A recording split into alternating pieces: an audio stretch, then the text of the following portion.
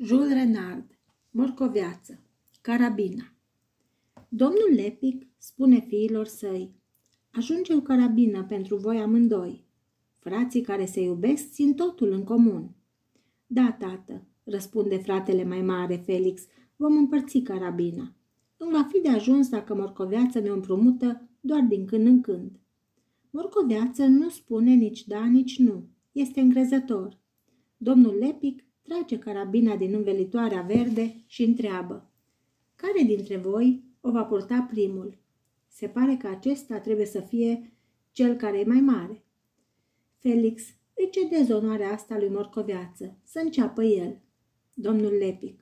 Felix, te porți frumos în dimineața asta, o să țin minte. Domnul Lepic așează carabina pe umărul lui Morcoviață. Domnul Lepic, haideți copii, distrați-vă fără să vă certați. Morcoviață, luăm și câinele? Domnul Lepic, nu-i nevoie, o să îndepliniți rolul lui pe rând. De altfel, vânătorii ca voi nu rănesc, omoară pe loc. Morcoveață și Felix se depărtează. Costumul lor simplu este cel de fiecare zi. Le pare rău că nu au cizme, dar domnul Lepic susține adesea că un vânător adevărat le disprețuiește.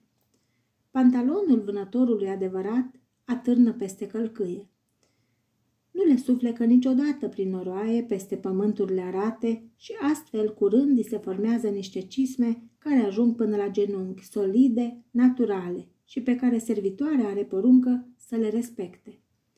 Cred că nu o să te întorci cu coada între picioare, spune Felix.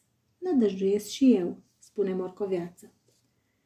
Îl încearcă o mâncărime în scobitura umărului și nu proptește acolo patul carabinei. Hai, spune Felix, ți-o las să o porți pe săturate. Ești fratele meu, spune Morcoviață.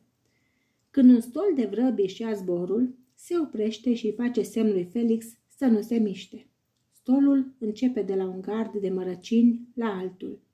Ghemuiți, cei doi vânători se apropie fără zgomot de vrăbile care parcă dorm.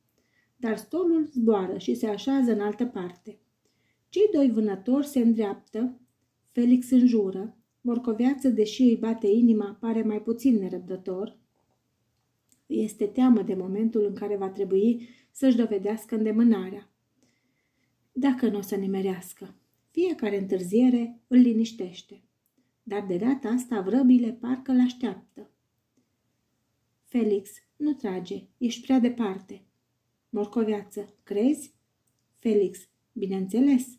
Când stai a plecat, te înșeli. Ți se pare că sunt deasupra, când de fapt sunt departe. Și Felix se ridică pentru a-i dovedi dreptatea. Vrăbile speriate și-au zborul, dar mai rămâne una în vârful unei crengi care se îndoaie și balansează. Își înalță coada, dă din cap și șoferă pieptul. Morcoveață, cu adevărat, pot să tragă în ea, sunt sigur. Felix, dă-te la o parte să văd. Da, într-adevăr, este a ta. Repede, dăm carabina. Dintr-o dată, morcoveață rămâne cu mâinile goale, dezarmat. În locul lui, în fața lui, Felix pune arma la umăr, ochește, trage și vrabia cade. Este ca o scamatorie. Adineori morcoveață strângea carabina la piept. Brusc a pierdut-o, iar acum o regăsește pentru că Felix i-a înapoiat-o și apoi, făcând pe câinele de vânătoare, aleargă să caute vrabia și spune – N-ai terminat? Trebuie să te grăbești puțin. Morcoveață, puțin cam mult. Felix, ei bine, acum te bosunfli. Morcoveață, păi ce? Vrei să mă bucur? Felix, acum că avem vrabia, de ce te plângi? Gândește-te că puteam să o scăpăm. Morcoveață, o, eu... Felix, tu sau eu este același lucru. Eu am împușcat azi, tu ai să împuști mâine. Morcoveață, aha, mâine. Felix, îți promit. Morcoveață, știu eu, îmi promiți din ajun. Felix, îți jur, ești mulțumit? Morcoveață, în sfârșit.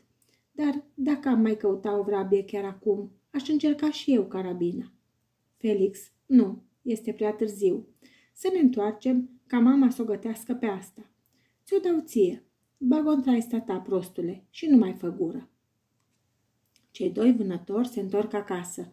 Uneori întâlnesc câte un țăran care îi salută și le spune, băieți, sper că nu v-ați împușcat tatăl. Morcoveață măgulit își uită supărarea. Sosesc împăcați, triumfători, iar domnul Lepic, de îndată ce-i vede, se miră. Cum, morcoveață, tot tu porți carabina? Deci ai purtat-o tot timpul?